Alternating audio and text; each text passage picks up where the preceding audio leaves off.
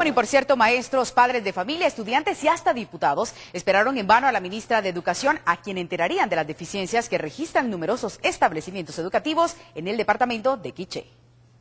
Maestros, padres de familia y estudiantes de Quiché denunciaron deficiencias en su establecimiento educativo mismos que se pretendían exponer a la ministra de Educación, quien finalmente no asistió al Congreso. El asunto era que la señora ministra de Educación escuchara las quejas y escuchara toda la situación que se estaba viviendo en Quiché. Desafortunadamente, la inasistencia de ella lo que provoca es que esto quede otra vez en el limbo, ¿verdad? Y esto eh, va en detrimento de las solicitudes que hacen los padres de familia, la comunidad educativa del Quiché. Infraestructura deficiente, falta de maestros e insumos escolares fueron algunos de los reclamos hacia los representantes del Ministerio de Educación. Directores de establecimientos se les solicitó desde el año pasado que nos dieran el listado de necesidades básicas.